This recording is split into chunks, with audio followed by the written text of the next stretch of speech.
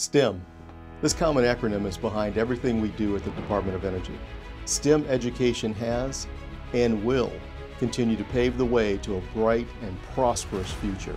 Science, technology, engineering, and math are the building blocks of our workforce. Today, STEM jobs are on the rise and are projected to grow by 13% by 2027. STEM salaries are also on the rise, with entry-level jobs paying 26% more than non-STEM jobs, and STEM opportunities continue to flourish as innovations drive our ability to create a cleaner, safer, and more secure future for our children. I encourage you to visit the STEM Rising on DOE's website, which showcases the ways our agency inspires, trains, and grows the STEM workforce of today and tomorrow.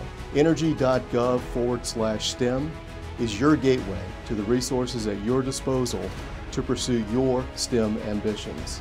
Go ahead and start your future and see yourself in STEM.